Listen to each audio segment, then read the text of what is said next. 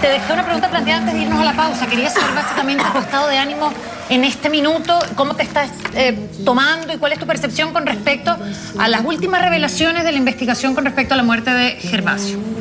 Bueno, ya, yo no puedo ser tan rota, no, decir, no, no contesto porque ya estoy acá, pero sí quiero dejar en claro, y a pesar que igual el otro día te escuché decir que, que gracias a la prensa, no sé qué, y en realidad yo me mantengo al margen porque me parece que no son cosas que se tratan, sobre todo con cosas tan, eh, tan eh, delicadas, no se tratan en la televisión solamente por eso. No, no puedo no dejar de dar una opinión, doy mi opinión desde mi corazón, desde mi alma. Estoy súper tranquila, me parece que está bien lo que está pasando, que es bueno lo que está pasando, porque para nuestra familia se cerraría un ciclo.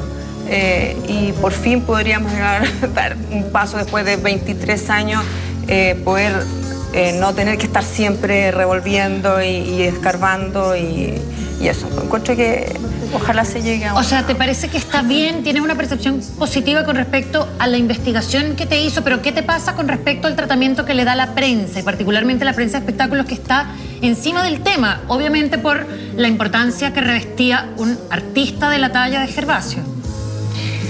O sea, yo creo, mira, la verdad, en esta, en esta etapa lo que está pasando hoy he tratado de no leer mucho, de no, no veo los reportajes y eso porque no me, no, me, no me es agradable, no me hace bien, no, etc. Entonces, no sé bien cómo lo han tratado. Puedo decirte sí, hace tres meses atrás más o menos que también eh, me parece que de repente se van al chancho, por decirlo de una manera más... Elegante. no sé si elegante, más vulgar al chancho. Pero...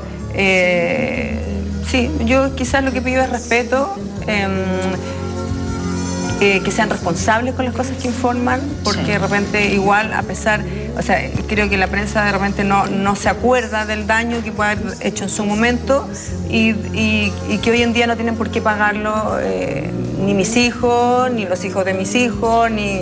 Eh, me parece que no que hay que ser un poco más responsable en el sentido más humano.